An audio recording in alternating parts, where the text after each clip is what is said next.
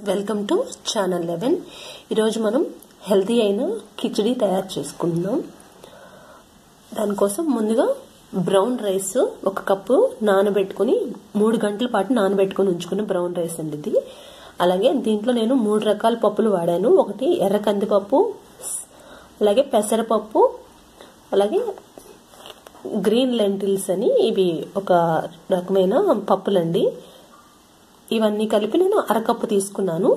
ఇవి కూడా ఒక హాఫ్ అన్ అవర్ పాటు నానబెట్టుకున్నానండి. కాబట్టి కొంచెం ఎక్కువ అయినాయి నాన నానటం వల్ల. అలాగే దాంట్లోకి నేను వెజిటబుల్స్ వచ్చి ఒక ఫైవ్ టైప్స్ వెజిటబుల్స్ తీసుకుంటున్నాను. ఒక ఐదు రకాలు. దాంట్లోని క్యారెట్ క్యాబేజు అలాగే స్వీట్ పొటాటో బీన్స్ అలాగే పచ్చి అని ఇవి ఫ్రోజన్ వాడుతున్నాను నేను. అలాగే దాంట్లోకి మనం కొంచెం ఒక స్పూన్ హాఫ్ స్పూన్ జీలకర్ర కొంచెం అల్లం ముక్కలు ఒక రెండు పచ్చిమిర్చిని తరిగి పెట్టుకున్నాను. దాంట్లోనే నేను కొంచెం నానబెట్టుకున్న ఉలవలు కూడా వేస్తున్నాను. దీని బదులు మీరు వేరే ఏదైనా వేసుకోవచ్చు. ఉలవలు కూడా చాలా మంచి హెల్దీ అయిన ఆహారం కదండి. సో ఇది కూడా చాలా హెల్దీగా ఉంటుంది. కాబట్టి దీన్ని కూడా వేసుకుంటున్నాను. ఇప్పుడు మనం కుక్కర్లో చేసేసుకుందాం. ఇది ఈజీగా అయిపోతుంది కాబట్టి. ఇప్పుడు ముందుగా నానబెట్టుకుని అన్నీ వేసేసుకుందాం. బియ్యం పప్పు అలాగే కొన్ని ఉలవలు వేస్తున్నాను. ఒక పావు కప్ లోపు వేస్తున్నానండి. అలాగే ఇవన్నీ జీలకర్ర పచ్చిమిర్చి ఇవన్నీ. అలాగే ఇంకా వెజిటబుల్స్ అన్నీ వేస్తున్నాను.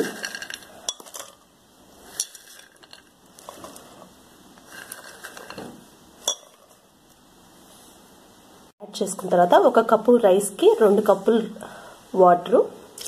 ఇవి రెండు కప్పులు వాటర్ అండి. కొంచెం బాయిల్ వాటర్ వేస్తున్నాను నేను. కా కాచిన వాటర్.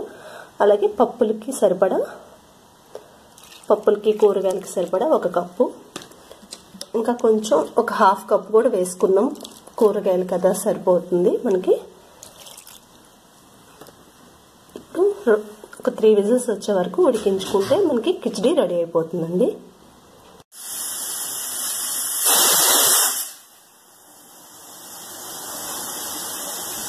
త్రీ విజిల్స్ వచ్చిన తర్వాత మనం స్టవ్ ఆఫ్ చేసుకున్నామండి. మనకి త్రీ విజిల్స్ ఆల్రెడీ వచ్చేసినాయి. కుక్కర్ మూత తీసుకున్న తర్వాత మనకి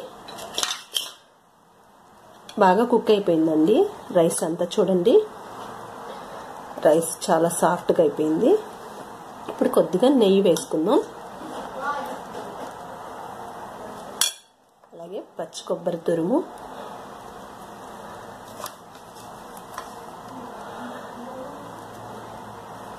సన్నగా తరిగిన కొత్తిమీర. నేను దీంట్లో ఉప్పు వేయలేదండి. కావాలంటే ఉప్పు కూడా వేసుకోవచ్చు. చూడండి చాలా సాఫ్ట్గా ఉడికిపోయినాయి అన్నీ.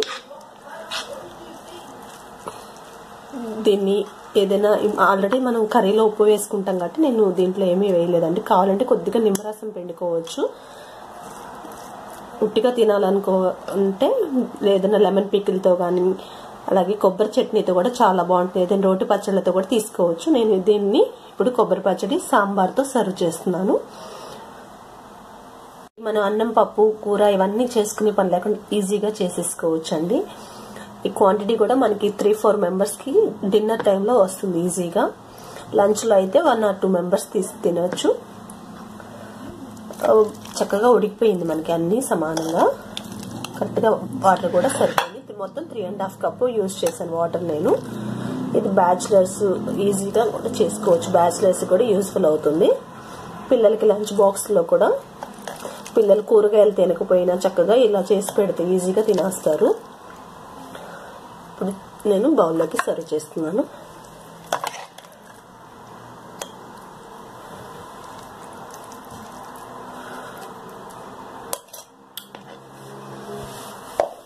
ఎంతో టేస్టీ అయిన కిచిడి రెడీ అయిపోయింది.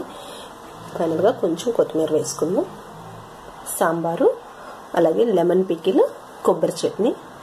కాంబినేషన్ ఇంకా మీరు ఏదైనా కొబ్బరి చట్నీతో కానీ ఇవే వెజిటబుల్స్ కాకపోయినా ఇంకా వేరే వెజిటబుల్స్ కూడా యూస్ చేసుకోవచ్చు అండి ఏదైనా పప్పులు కూడా మీకు నచ్చిన పప్పులు వేసుకోవచ్చు. ఓకే. ఈ కిచడీ మీకు నచ్చిందని అనుకుంటున్నాను. Thank you for watching bye have a nice day